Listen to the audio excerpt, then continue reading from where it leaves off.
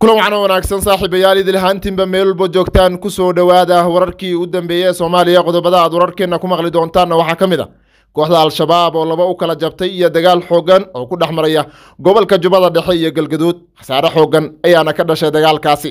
Sarkaal sare oo ka tirsan ururka al-shabaab ayaana la soo goostay ciidamadii ugu badnaa kaasi oo la sheegay in uu isku soo dhiibayo dowladda federaalk ee soomaaliya khilaafkan ayaa la sheegayaa in uu salka ku hayo arrimo la yaab leh oo ay ka mid tahay habqaybsiga dhaqaalaha kooxda al-shabaab oo ay amiirada ugu sarraysa doonayaan in loo qaybsado qaab u dhow nidaamka kaasi oo ay soomaalida wax ku qaybsato. Dhinaca kale dowladda federaalk ee soomaaliya ayaa guulo hordhaca ka sheegatay wejiga labaad ee dagaalka iyo arrimo la yaab leh oo ka taagan degmada galcad ee gobolka galgaduud dhinaca kale waxa ay xiisad xoogan ka taagan tahay maamul goboleedka jubbaland xilli uu dhammaaday mudaxileedkii madaxweynaha maamulkaasi. Dhanka kale ciidamo cusub ayaa lagu wareejiyey amniga magaalada muqdisho xilli bilihii u dambeeyey uu faraha ka baxay amniga magaalada muqdisho. Dhammaan qodobadaasi iyo kuwo kaloo faahfaahsan ayaad warkeena ku maqli doontaan waxaana barnaamijka qaybigalaha saaxiibkay santaag oo soo indheendheeyey xaladihii u dambeeyey santaagow ugu horeyn ku soo dhowow barnaamijka dagaal culus oo u dhexeeya kooxda al-shabaab ayaa wuxuu ka socdaa gobolka jubbada dhexe iyo galgaduud.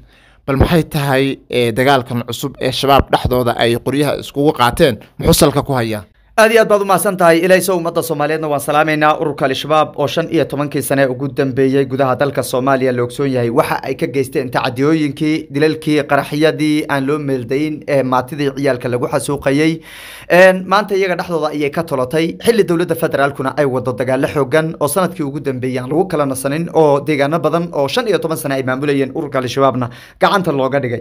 Dagaalkan wuxuu soo bilowday asbuucyadii ugu dambeysay iyadoo khilaafka uu taagnaa balse dagaal foolka fool ah ma uusan dhicin markii laga reebo dagaal isagu markii hore ku salaysnaa awoodda ugu sareysa cidda qabanaysa oo deegaanka jilib markaasi ku dhex maray madaxda ugu sareysa ururka al-shabaab bila laakiin dagaalkan foolka foolka waxa uu soo bilowday asbuucii hadda la soo dhaafay wuxuuna ka dhacay degmada galcad oo ka tirsan gobolka galgaduud madaxda ugu sareysa ururka al-shabaab laba arrimood ayay isku khilaafsanaayeen oo haddana khilaafkii uu u soo gudbay dhinaca jubbooyinka iyadana u soo gudbay oo xalaytaan ogsoonahay inuu dhacay dagaal xoogan oo madaxda madax ka tirsan ururka al-shabaab uu ku dhex maray deegaanka shabeelle oo ka tirsan gobolka jubbada dhexe.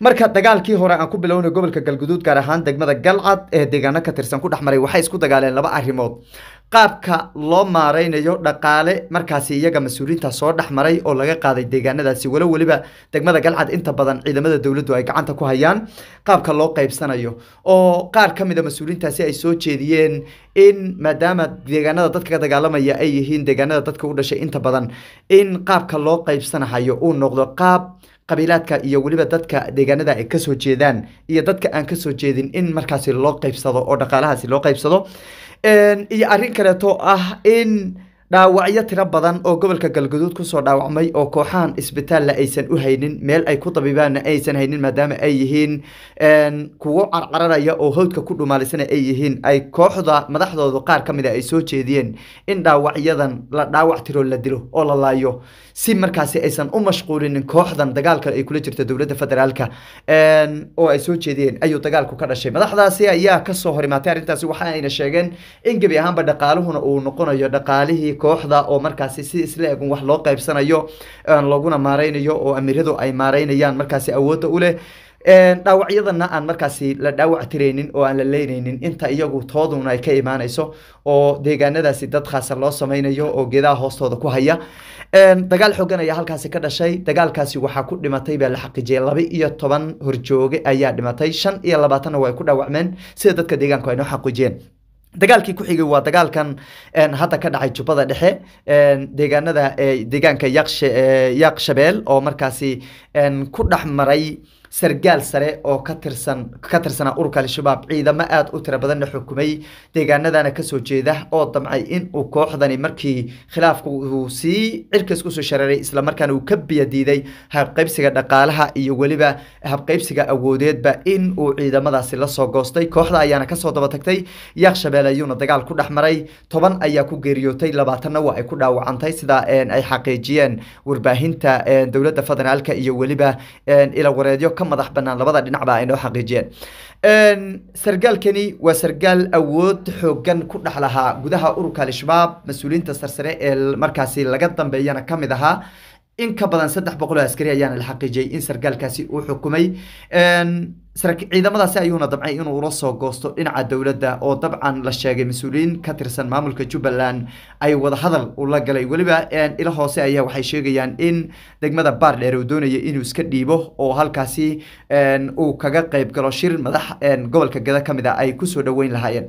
Marka isku soo duuduubay khilaafkan ururka al-shabaab iyo dagaalkan iyaga hadda dhexdooda iyo dabkan ka holcay iyaga bartankooda waa musiibadii ay ka geysteen gudaha dalka soomaaliya.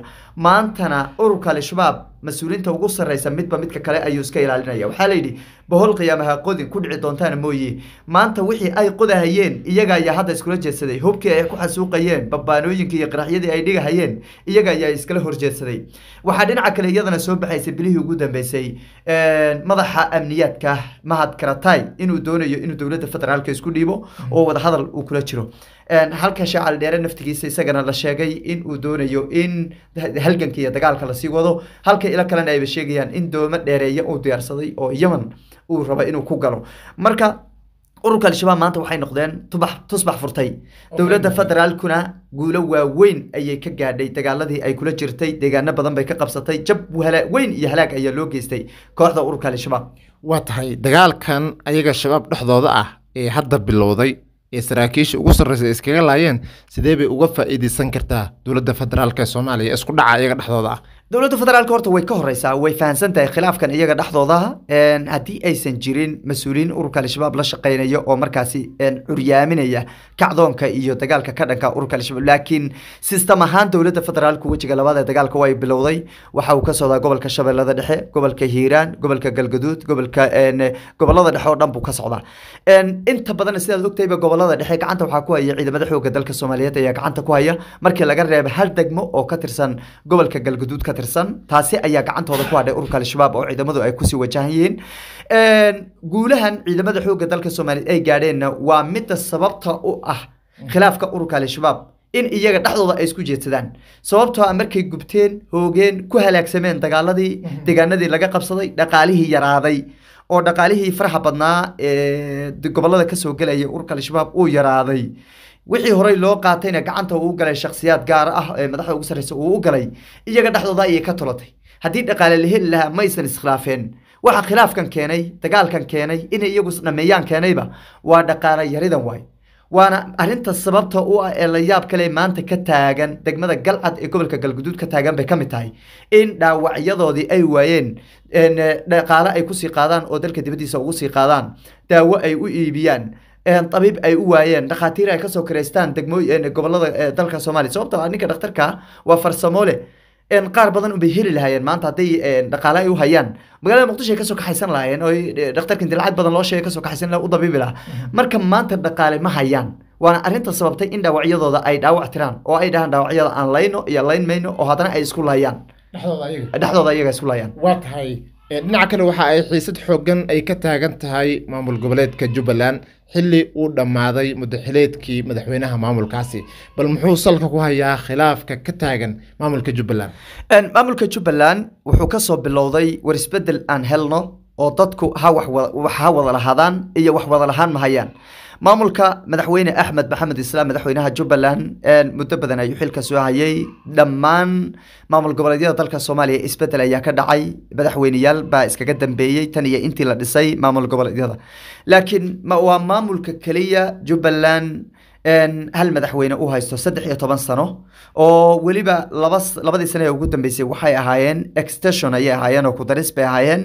Labadii sanena ee dambena waxaa weeye hadda la filayay in doorasho ay dhacdana waxaa muuqata saansaan axmed maxamed islaam iyo weliba xildhibaanadu uu ka diyaarsanayo in laba sano ay ugu daraan. Si markaasi uu la dhammaysto madaxweynaha la doortay ee federaalka soomaaliya madaxweyne xasan sheekh maxamuud xilligiisa uu la dhammaysto waana arinta markaasi khilaafka keenaysa siyaasiyiinta ka soo jeeda jubbaland. Qaybo badan ayaa arintaasi ka biyadiiday oo axmed maxamed islaam waxa ay ku cadaadinayaan in uu qabto doorasho xor iyo xalaal ah oo kursiga uu baneeyo ama uuba tartamo oo doorasho markaasi xor iyo xalaala oo lagu tartamayo ay ka dhacdo jubbaland. Arrintaasi ayay marka siyaasiyiintan iyagu doonahayaan. Midda kaleeto dhaliilo badan bay siyaasiyiintan hayaan oo waxay leeyihiin jubbaland dib u dhac baa ku imaaday.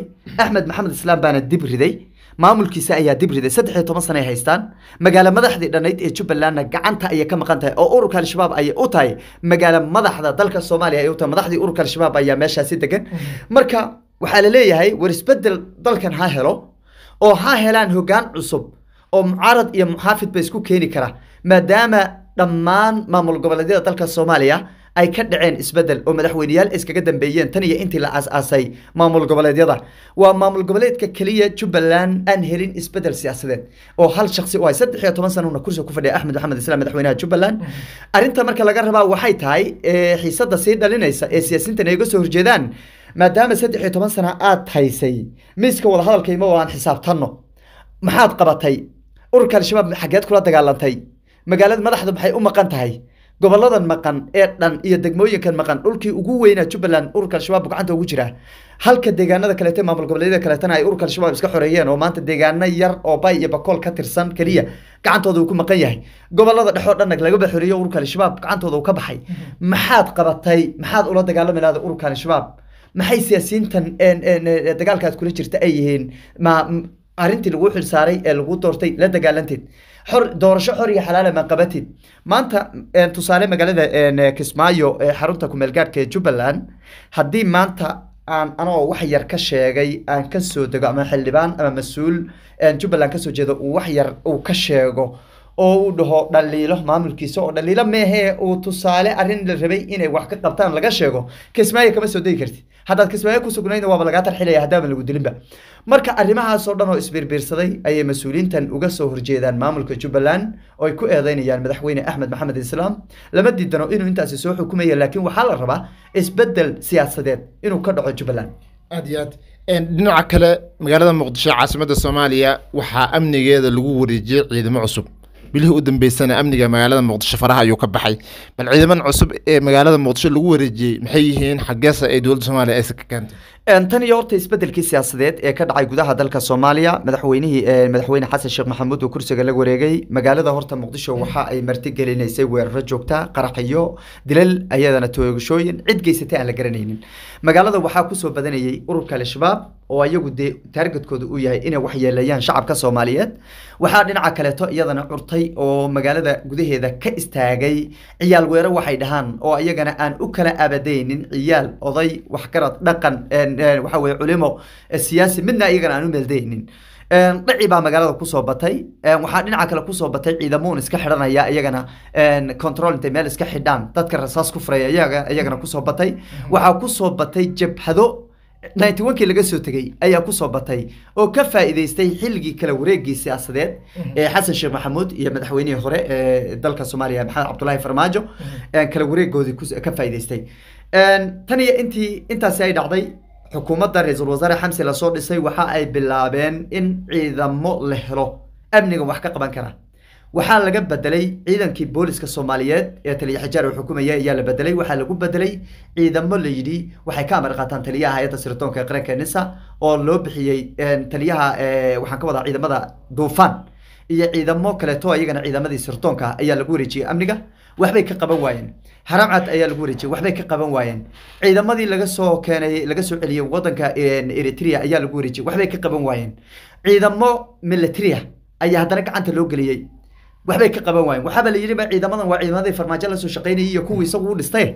Ciidamadii badbaado qaran bal aan ku daynaa layidhi badbaado qaran baa loo dhiibo wayba ka daran waxa weeye sicii dibi dhal baa layidhi wayba ka dartay oo waxayba xidheenba wadooyin gaara xidheenba waxayba u kala bixiyeen isbaadhooyin caadiya samaysteen.